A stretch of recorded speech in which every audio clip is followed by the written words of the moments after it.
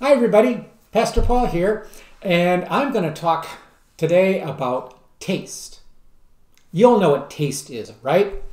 Taste is what food does in your mouth. It tastes like something.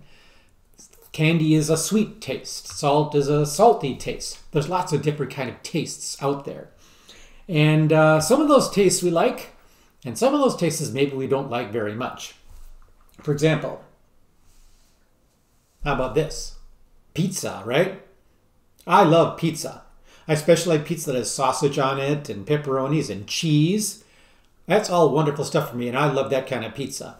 But some people like to put peppers on their pizzas or black olives on their pizzas.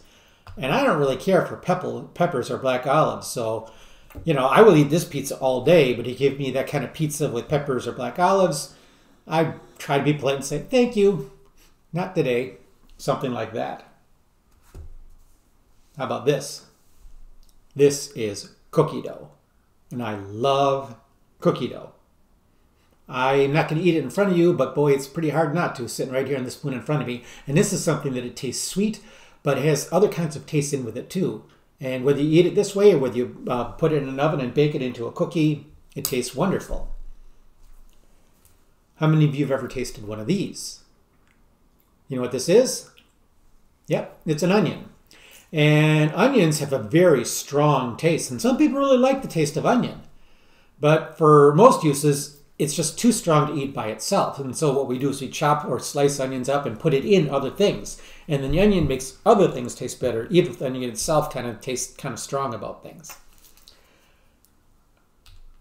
Taste is good in life. It's fun to taste things that taste good, and we enjoy eating things that taste good. In one of the Psalms, the psalmist says, Taste and see that the Lord is good. Can you imagine tasting the Lord? When he says the Lord, he means God. Do you think we ever taste God? Well, there is one way that we do taste God in our churches, and that is through communion.